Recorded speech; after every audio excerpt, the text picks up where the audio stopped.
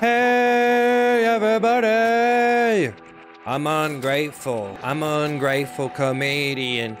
Am I funny? He's a very ungrateful comedian. He's a very ungrateful comedian. You can't even hear his voice, cause he's speaking in a foreign dialect. You can't even watch his video. You can't live up to it. You can't tolerate it, cause it's so good. Pessimistic. I just broke inside myself, cause I'm somebody else. It feels good when you're over Cause you're a passive and you don't give a shit if anybody wants to wants to say anything that they say. You wanna say what you will, gonna say and spray it.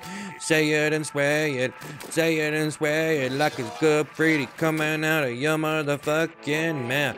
Graffiti coming out of your fucking mouth. It's graffiti coming out of your motherfucking mouth, bitch. Mouth better, better, better, better, better, better, better, better, better, better, better, better, better, better, better, better, better, better, แบบ